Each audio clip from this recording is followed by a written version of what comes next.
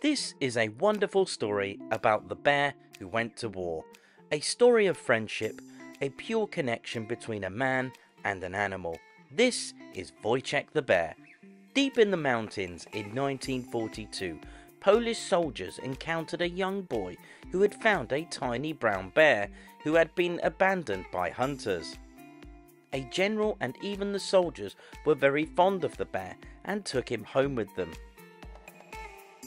Wojtek ended up with 22nd Artillery Supply Company and he was given the name Wojtek by the soldiers. Wojtek had a few problems swallowing his food, but the soldiers fed him condensed milk from an old vodka bottle. He was subsequently given fruit, marmalade, honey, and syrup. Soon our little bear grew and grew bigger and did everything the soldiers did. He basically copied them. Wojtek became their mascot and even sniffed out a spy in the camp.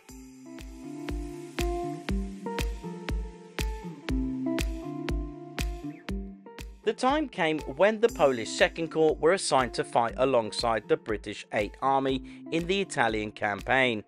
There was a problem. The regulations for the British transport ship, which was to carry the soldiers to Italy, forbade mascots and pet animals. The men refused to board and arguments followed. The men loved Wojtek and Wojtek loved them back. But a cunning plan came, and to get around the restriction, Wojtek was officially drafted into the Polish army as a private and listed among the soldiers of the 22nd Artillery Supply Company. When they arrived in Italy, crowds would come to see their new recruit.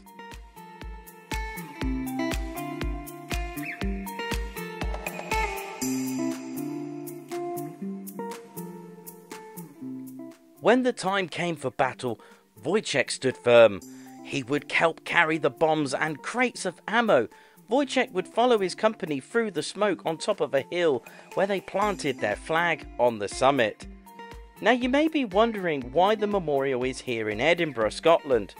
After the Second World War in 1945, Wojtek was transported to Scotland with the rest of 22nd Company. They were stationed at Winfield Airfield on Sunwick Farm near the village of Hutton on the Scottish borders.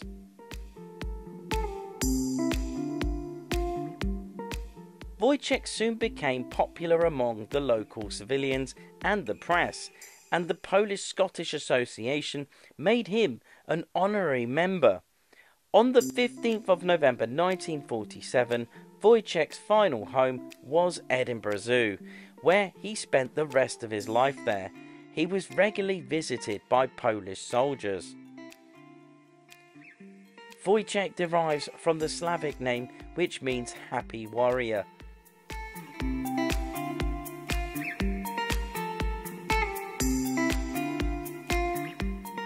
Wojtek ended up being ranked a corporal. What a legend, what a bear.